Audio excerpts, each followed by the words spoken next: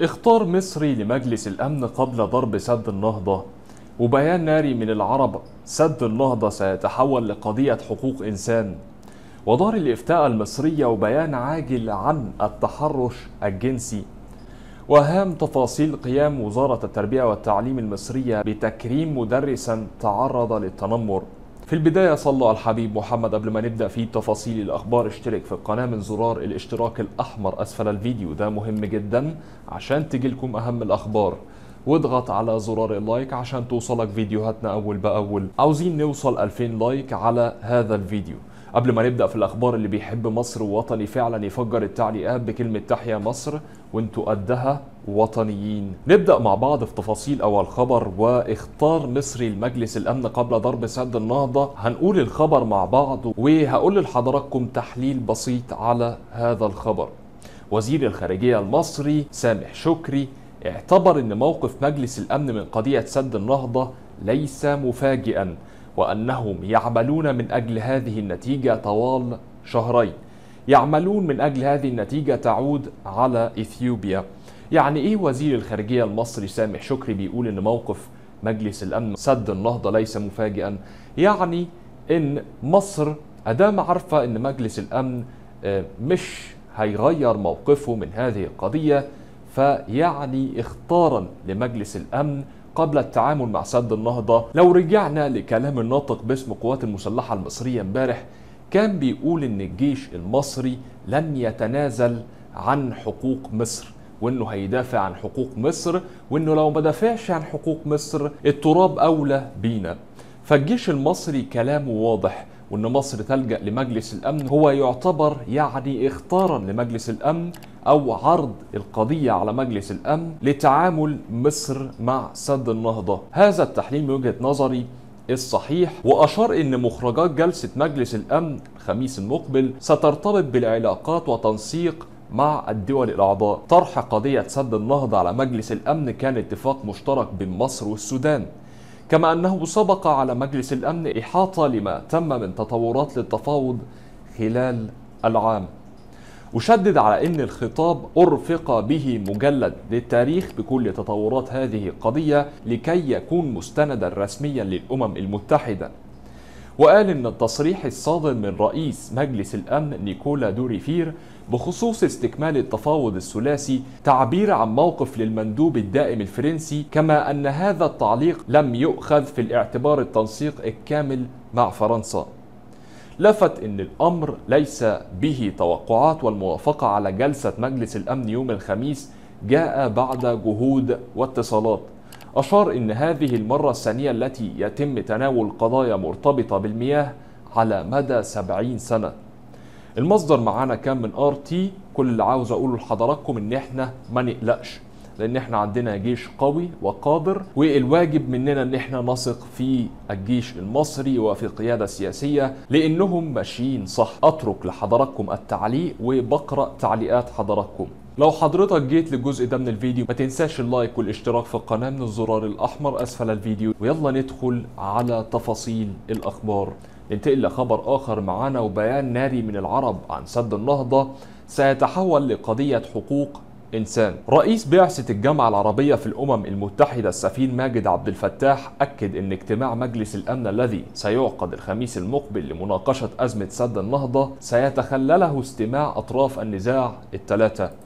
وقال من المؤكد أن وزيراي خارجية مصر والسودان سيحضران الجلسة بينما لم يعرف حتى الآن حضور الوزير الإثيوبي من عدمه. وأضاف هناك تخوف صيني في مجلس الأمن من أن يتم بحث قضية الأنهار الدولية وبالتالي إرساء سابقة من قبل مجلس الأمن يمكن الاستناد إليها فيما بعد في التعامل مع قضايا الأنهار. أوضح أن في شعور داخل مجموعة السبعة وسبعين يشير لضرورة إبعاد مجلس الأمن عن قضايا التنمية وعدم إصداره قرارا فاصلا ومن بينها قضايا المياه واللاجئين والهجرة وتغير المناخ.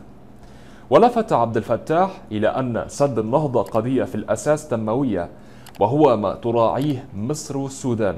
ولا يوجد لديهما أي مانع تجاه إقدام إثيوبيا على بناء سد كمشروع تنموي شدد أن إثيوبيا لا يمكنها فرض الملء والتشغيل وفقا لطلباتها. دون أن تأخذ في الحسبان دول المصب ودون التوصل لاتفاق ملزم حول ملء وتشغيل السد. ولفت إلى أن عدم التوصل لاتفاق يعني حرمان دولتي المصب من المياه وبالتالي تتحول من قضية تنموية إلى حقوق إنسان مشيرا إلى أن مخاوف تهديدات الأمن والسلم الدوليين من هذه الأزمة يجعلها تدخل في اختصاص مجلس الأمن.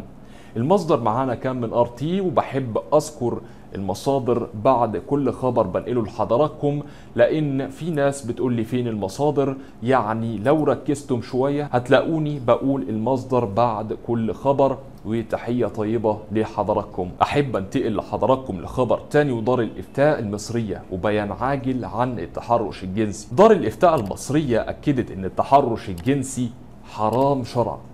أشارت أن هذا التصرف هو من كبائر الذنوب. وجريمة يعاقب عليها قانون.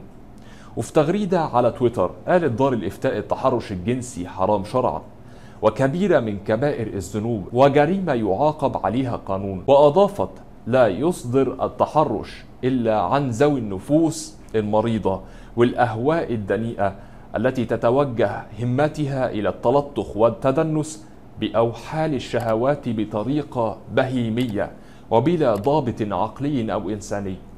وتابعت وقد عظم الشرع الشريف من انتهاك الحرمات والأعراض وقبح ذلك ونفر منه وتوعد فاعل ذلك بالعقاب الشديد في الدنيا والآخرة سواء كان ذلك قولا أو فعلا. المصدر معنا كان من الصفحة الرسمية لدار الإفتاء المصرية على تويتر وآر تي. أحب برضو أذكر المصادر عشان ما حدش يجي في التعليقات ويقول لي فين مصادرك أحب انتقل مع حضراتكم لخبر تاني وهام تفاصيل قيام وزارة التربية المصرية بتكريم مدرسا تعرض للتنمر. وزارة التربية والتعليم كرمت يوسف صابر مدرس التاريخ بمدرسة الوقف للتعليم الأساسي في كفر الشيخ بعد تعرضه للتنمر عبر وسائل التواصل الاجتماعي. وأهدب بثينة كشك وكيلة وزارة التربية والتعليم بكفر الشيخ المعلم صابر مصحفا وسط أسرته والعمال والعاملين بالمطعم الذي يعمل به وعبرت كشك عن فرحتها به لأنه امتنع عن الدروس الخصوصية واتجه للعمل مشرفا على العمال بأحد المطاعم. واستجابت لطلب نقله من مدرسة الوقف للتعليم الأساسي التي تبعد مسافة كبيرة عن محل إقامته ببلة. إلى مدرسة مجمع رخا للغات. من جانبه عبر صابر عن اعتزازه بالتكريم الذي ناله من كشك ومن كل القيادات والمعلمين. وتعرض الأستاذ صابر للتنمر عندما صورته إحدى السيدات أثناء كنسه أمام المطعم الذي يعمل به. ونشرت الفيديو على مواقع التواصل الاجتماعي سخر منه لكونه معلما ويعمل مشرفا على عمال النظافة بمطعم ولاقى هذا المعلم تعاطفا كبيرا معه من المتابعين وفي الأوساط الاجتماعية والعامة في مصر. يعني عاوز أقول إن السيدة اللي صورت المعلم دي يعني سيدة للأسف يعني آه، سيئة جدا. العمل اللي هي قامت بيه ده يعني عمل آه، تقوم به النفوس المريضة ربنا. يهديها ويشفيها بإذن الله. المصدر معانا كان من RT وأحب أقول لحضراتكم وأأكد على هذه المعلومة الشغل مهما كان أدام بيجي بالحلال مش عيب والأمر ده يعني المفروض مفيش اختلاف عليه. يعني حبيت أنقل لحضراتكم الأخبار اللي كانت معانا في الوقت الحالي. أتمنى ما أكونش تقلت حضراتكم أتمنى أكون يعني خفيف وعند حسن ظن حضراتكم. أي تعليقات أنا بقرأها أدام باحترام وأي سؤال أنا برد عليه شكرا جدا لحضراتكم. كان معكم إسلام الأمير والسلام عليكم ورحمة الله تعالى وبركاته.